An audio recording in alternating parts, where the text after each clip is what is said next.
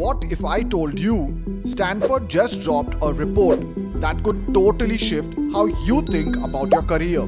The Stanford Digital Economy Lab studied the impact of AI on jobs, and the results are eye opening. Turns out, in industries most exposed to AI automation, jobs for 22 to 25 year olds have taken a major hit.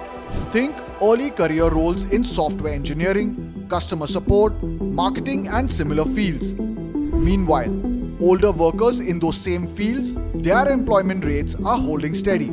It explains why so many fresh grads are struggling to land jobs in certain sectors, even though demand still exists.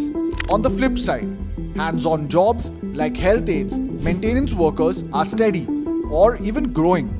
And here's the kicker professions where AI is used to assist workers and not replace them are also seeing job growth across categories. The findings are based on data from ADP, the largest payroll software provider in the US, which tracks millions of workers across tens of thousands of companies. Fun fact the authors of the report use AI to help put it together.